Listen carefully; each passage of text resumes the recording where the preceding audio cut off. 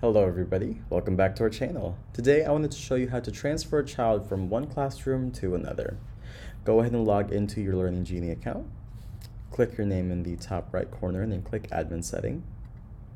On the left hand side, select the Manage Children option. Locate and select the child you wish to transfer and then click the Transfer button.